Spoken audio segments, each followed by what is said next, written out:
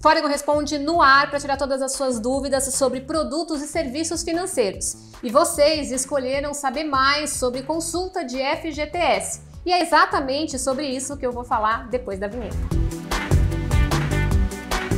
A gente recebeu um e-mail da Giovana com a seguinte pergunta: Como faço para consultar o saldo do meu FGTS?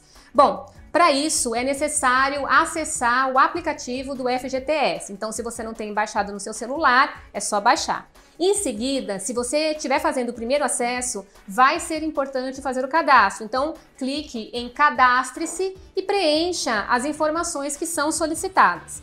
Após o preenchimento do cadastro, vai ser necessário fazer uma confirmação de e-mail, ou seja, você vai receber um e-mail e vai ser necessário clicar no link que é enviado dentro dele para fazer a confirmação do cadastro. Feito o cadastro e as confirmações que são necessárias, basta acessar o aplicativo.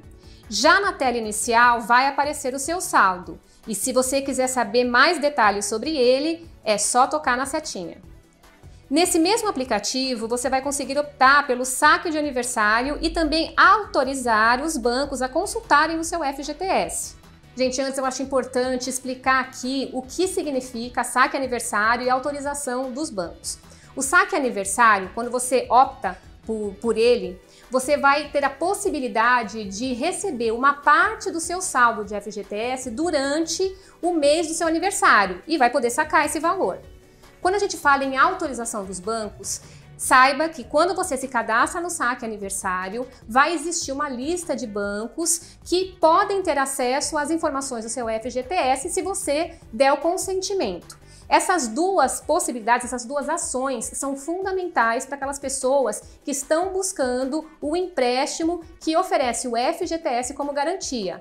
É o empréstimo de FGTS do adiantamento do saque aniversário. Para finalizar, eu quero lembrar que quem tem a carteira assinada ou trabalhou como CLT e tem o saldo no FGTS, automaticamente tem a inscrição na modalidade saque e rescisão, que é aquela que você pode sacar assim que uh, ocorre o desligamento de uma empresa.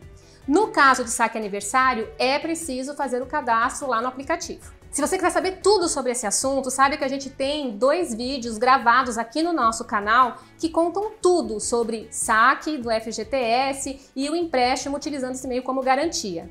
Bom, eu espero ter descomplicado um pouquinho esse assunto para vocês, mas se vocês tiverem alguma dúvida, manda aqui pra gente que a gente vai responder. Não esquece de deixar o seu like se você gostou desse vídeo e se inscrever no nosso canal. Ah, e compartilha com os amigos para ajudá-los também a ficar por dentro desse assunto.